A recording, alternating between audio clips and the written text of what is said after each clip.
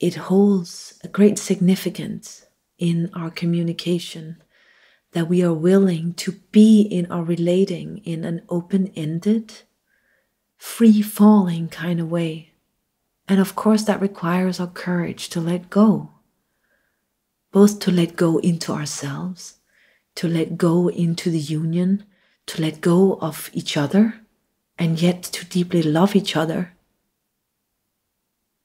and all of these are things that kind of scare us to start out with. So, our willingness to deal with the part of being scared, to deal with our fear of being deeply vulnerable, our fear of being truly naked,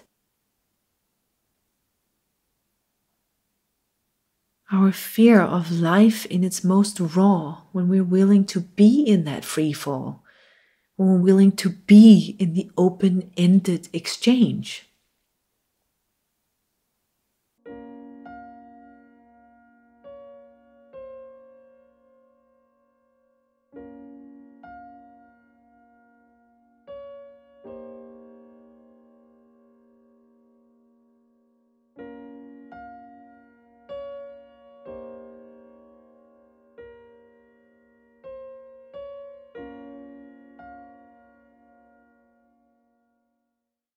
So, in a way, you could say that a good part of the phase of our relating is bound in birthing beauty through conflict.